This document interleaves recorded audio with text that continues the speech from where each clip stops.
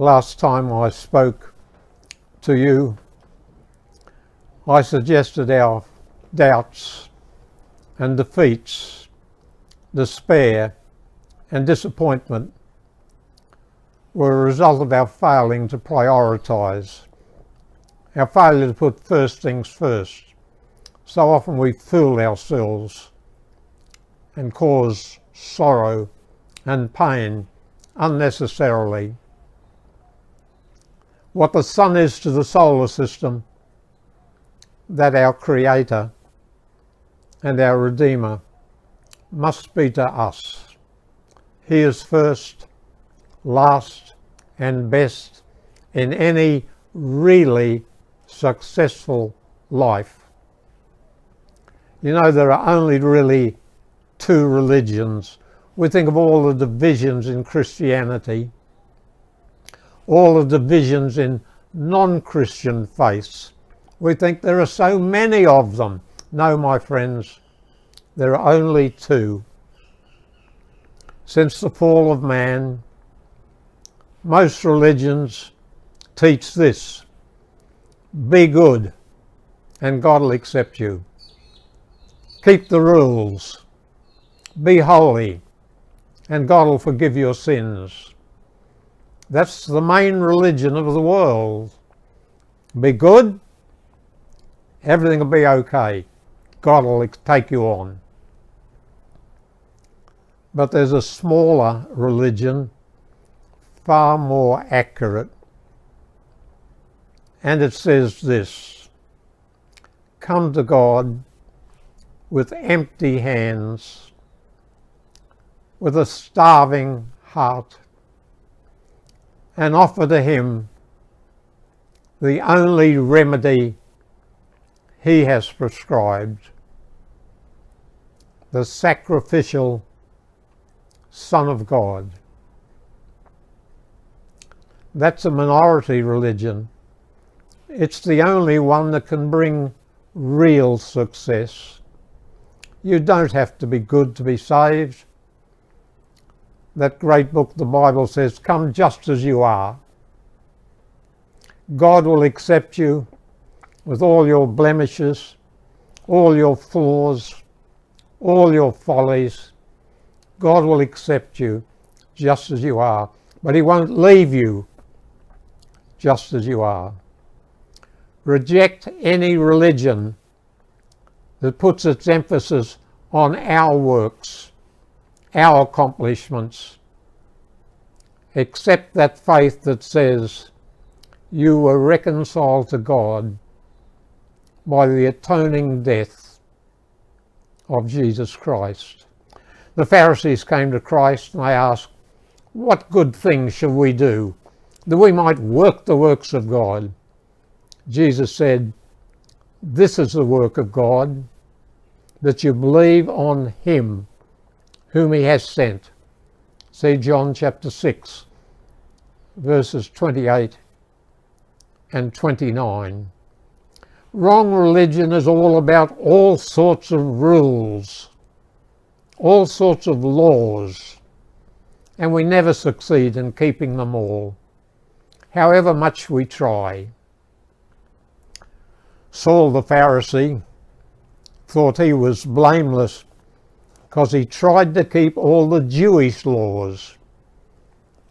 But the day came when he said, I died when I saw the depths of the law, that it required perfect love. I died. He said, now I'm crucified with Christ. And Christ lives in me. But you who rely on law you have fallen into great folly. You can never be acceptable to God by your law keeping. Whole book of Galatians is about that, and the book of Romans, and you'll find it in Philippians and elsewhere in Scripture. We come to God because of what He has done, not because of what we can do. Only God has given away. Only heaven can be had for the asking. You don't have to be good to come to God. You come just as you are. But He won't leave you just as you are. He'll come into your heart.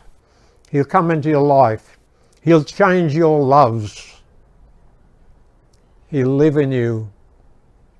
And you will find rest and peace and joy and eternal life by the gladsome following of Christ.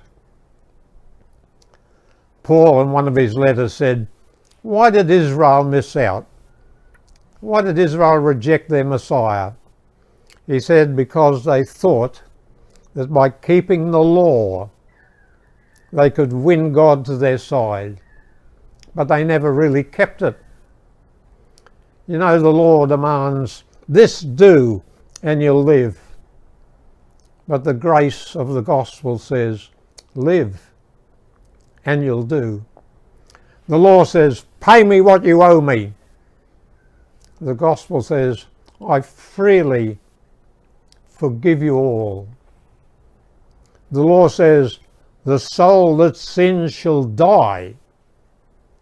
The gospel says, blessed is the one whose sin is forgiven, whose transgression is covered. The law shouts, Cursed is everyone that doesn't continue in all the works of the law to do them. But the gospel says, Blessed is whosoever comes to me and receives forgiveness full and free. The law says, Make you a new heart the gospel says, a new heart I'll give you. The law says you must love God with all your heart. The gospel says, here is love. Not that we've loved God, but that he loved us and gave his son for the forgiveness of our sins. You can't be saved by trying to keep rules and regulations. You can only be saved by accepting as a gift salvation full and free. Jesus said, He that heareth my word and believeth on him that sent me has everlasting life. Has it now. Need fear no condemnation, for he is passed from death unto life. That's John 5, verse 25. That's the only way accept it as a gift. However bad your past, whoever you are, whatever your condition. You know, the Bible uses symbols to convey truths to us. It calls false religion Babylon to remind us of the people that built the Tower of Babel, hoping to get to heaven, hoping to make a great name for themselves but they failed. They failed in both. We don't know the name of any of them. They finished using mud and slime and the tower collapsed. You've heard of Jacob. He was born a twister and a rogue. He often cheated. But God came to him and showed him a ladder connecting heaven and earth, a symbol of the Redeemer who would come, who would bridge the gap between us and God. And Jacob's heart was broken. And he received a new name, Israel, overcomer. Dear friends, when you believe in Christ, the Bible says you're justified. That doesn't mean make right, except make right in the sense of your status. To justify in the Bible means to declare right, to impute righteousness to, to account or treat a person as though they were righteous. And you receive a righteousness that's 100%, but it's not in you, it's in your Saviour. You don't ever trust in yourself, not for a single moment. Faith is a receiving word, not a doing word. By faith we look to Christ. Whatever the storm, whatever the trouble. What do sailors do in a storm? They don't throw the anchor into the hold. They throw it into the vast ocean. And we're not to look to ourselves. That's like trying to balance a broom while you look at where the broom touches your finger. You can never do it that way. You must look up and up and up and then you can balance it. Faith is looking to Christ and receiving his gift of holiness full and free. That's the religion of what the Bible calls the holy city, God's Jerusalem, heaven itself. There's no other way. One interest must prevail. One subject must swallow up every other. The sweetest melody of human lips that Christ is our righteousness. Receive it, believe it, and you'll have the only success that God counts as true success.